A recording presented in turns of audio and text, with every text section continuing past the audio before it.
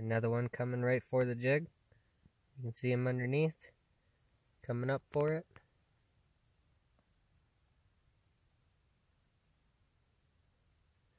You gonna get it? There he is. Oh, this one's mad.